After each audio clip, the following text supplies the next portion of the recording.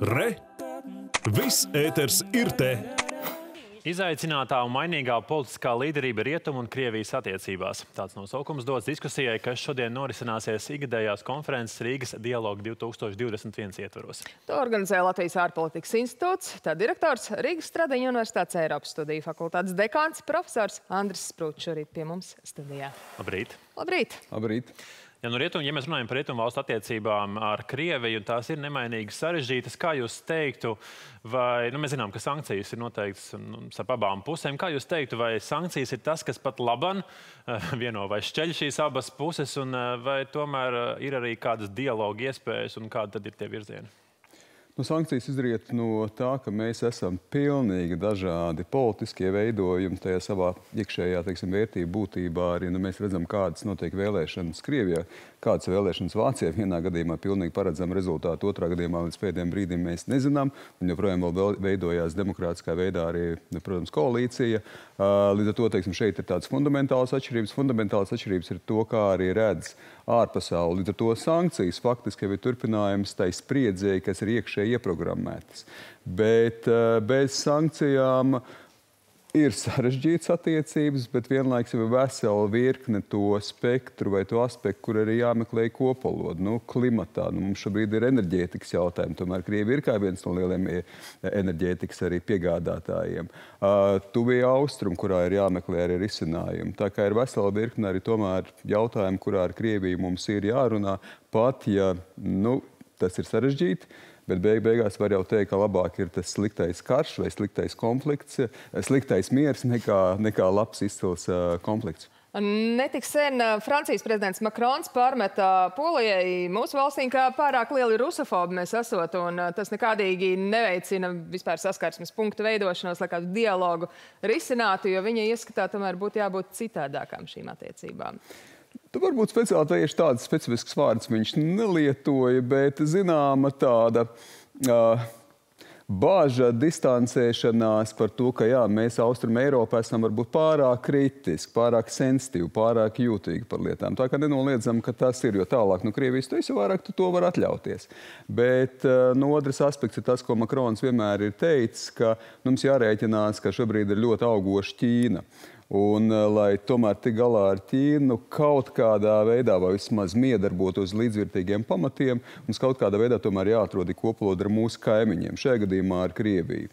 Tā kā šeit tā miedarbība Eiropā ir, un tieši tāpēc ir šāds pasākums, kas eh, pulcē mm, gan rietumu Eiropas, gan Krievijas ir eksperts, ka šīs attiecības ar Latviju ar Krieviju viņas nav tikai attiecības ar Krieviju, tās ir attiecības ar mūsu rietumu sabiedrotajiem, kuriem principā mēs mēģinām arī paskaidrot, ka tā mūsu pozīcija izriet no mūsu geogrāfiskās uh, lokācijas, no tām teiksim, tā, traumām vēsturiskām, kas mūsu starpā ir arī bijušas, un arī, protams, no tīri ģeopolitiskiem izaicinājumiem, ko Krievija šobrīd rada ar Baltkrieviju, ar zapadmācībām, ar teiksim, savām aktivitātēm kaimiņos. Jā, tieši par to mēs arī vēlējāmies jautāt. Krievija septembrī vidū aizvadīja šīs militārās mācības kopā ar Baltkrieviju.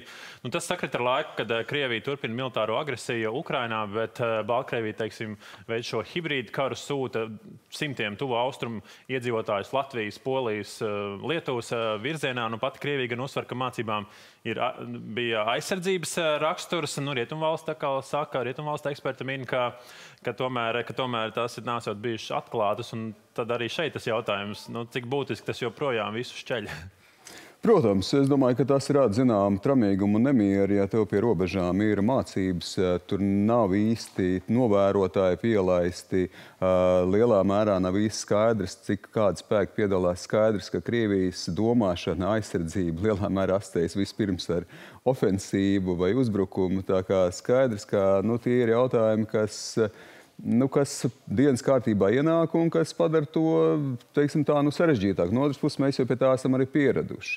Uh, šīs mācības ir atkārtojās no gada uz gadu. Nu, principā ik pēc četriem gadiem lielās zapadu mācības, bet uh, vienības jau ir izvietotas pie robežas pietiekoši lielā skaitā jau teiksim, tā, permanenti.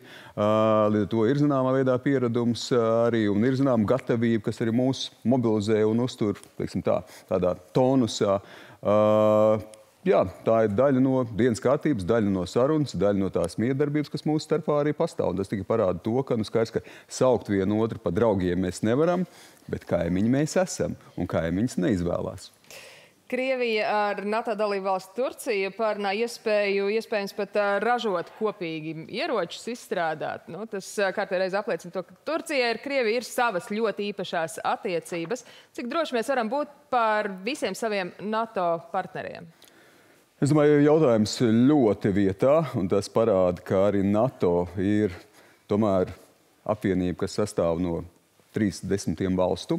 Un, uh, tur ir dažādas intereses, un skaidrs, ka ir uh, arī valsts kā Turcija, kur spēlē lielā mērā savu spēli. Un te ir Turcija tas paradoks, ka no vienas puses viņi ar Krieviju konkurē, vai tā ir Lībija, vai tā ir Sīrija, vai tā ir Kalnu Karabaha, bet tajā pašā laikā viņi arī spēja kaut kur vienoties, jo strateģiski pat tā domāšana ļoti līdzīga. Tās ir no lielās, lielas valstis ar zināmām veidā ģeopolitiskām tradīcijām, ar zināmā veidā nu, mazāk vai vairāk ar autoritārismā vai tā, teiksim, stingras līderības, šajā gadījumā varbūt uz Turciju to vairāk varētu attiecināt elementiem, un tur tā kopaloda ir. Bet eh, skaidrs, ka arī Turcijai tie signāli bijuši diezgan skaidri, piemēram, no amerikāņu puses par to, ka, nu, ja kopīgas sistēmas ar uh, Krieviju, ja kopīgas šīs pretgaisa sistēmas, tad var rasties problēmas ar integrāciju NATO struktūrās. Tā kā skaidrs, ka Turcijai, nu, no vienas puses viņi vēlās spēlēt šo autonomo, neatkarīgo spēli, kurā Turcija ir pat par sevi, bet viņai jāatcerās, ka arī viņai tā NATO ir svarīga un amerikāņi kā sabiedrota arī ļoti svarīga. Tāpēc, protams, tā izspēle ir no, no visām pusēm, ieskaitot no Turcijas. Runājot par kopvalodu samitā šo, šā gada 16. jūnijā tikās ASV prezidents Joe Bidenis un arī Krievijas prezidents Vladimirs Putins. Viņi uzsvēra, ka ir svarīgi turpināt sarunas neskatoties uz domstarpībām. Savukārt vakar Ženēvā aiz slēgtām durvīm tikās ASV valsts sekretāra vietniece Vendija Šermana un Krievijas ārlietu ministra vietnieks Sergejs Ribakovs. Nu, Vašingtona cer uz tādiem konkrētiem soļiem um, šajās sarunās. Kā jūs redzat, vai tādi konkrēti soļi no šīm sarunām arī būs? Uh, jā, ne tikai tikšanās arī Helsingos, tikā, tikko kā bija starp ģenerāļa štāba uh, vadītājiem, Mailijas un Gerasimovs. Tā kā šī, šie kontakti tā vien izskatās, ir pietiekoši plaši. Uh, jāatcerās, ka no vienas puses uh, Baidens nākot pie varas, viņš teica, ka ne uz kādu pārrestartēšanu uz kādu medus mēnesi viņš negaida, bet tomēr mēģinājums, atkal šis instinkts vai refleks daļēji ir pamēģināt. Nu, es esmu, kā saka, jauns un es esmu kritizējis, eh, un ar to man ir zināmas iespējas arī parunāties ar Krieviju. Būsim realisti, fundamentāli, vēlreiz, ja tā var teikt, rietumu, amerikāņu Krievi tādā, teiksim, valstiskā izpausmē tie dažādi politiskie, sociālie, sagumēt lietot dzīvnieki, bet veidojumi. Tie ir tie, dažādi vēl valstiskie veidojumi. Un līdz ar to atrast kopolotie vērtības ziņā, interešu ziņā nebūs vienkārši. Bet ir noteikti kaut kāds interešu spektrs, kurā tas ir iespējams. Ja runā par amerikāņiem, tad amerikāņiem ir tā saruna, kas bija starp Putinu un Baidenu. Viņi bija izteikti kiberuzbrukumu kontekstā. Un, principā, šeit zināmā veidā tā vien izskatās, nu, ka kaut kāda, es negribu teikt sadarbība, bet vismaz pamieris ir uz šo brīdi panākts. Tā kā skatīsimies, cik ilgi tas turpināsies, jo tikko kā būs kaut kas fundamentālāks un asāks uz tiem lieliem jautājumiem, nenoliedzam, ka būs arī vesela virkne nesaskaņa vai spriedzes arī tajos mazākos jautājumos. Bet tajos mazākos jautājumos tā vēlme nu, kaut kādu modus operandi atrast uh, ir un varbūt arī zinām veidā šie pamiera elementi ir klātesoši. Bet cik šobrīd vispār komfortabli un, un mierīgi mēs varam justies par Amerikas Savienotajām valstīm, ņemot vērā to, kā notika aiziešana no Afganistānas, ņemot vērā to, ka prezidents Baidens saka, ka pietiek demokrātija mācīt eh, citās zemēs un ka Amerika necentīsies to darīt, nu, tāds diezgan ievērojams šī kursa maiņa. Ļoti būtisks jautājums jūs uzdodiet tieši par to iekšējo konsolidāciju, gan par Turciju, gan šobrīd faktiski par galveniem mūsu sabiedrotiem, galveniem mūsu drošības garantiem amerikāņiem.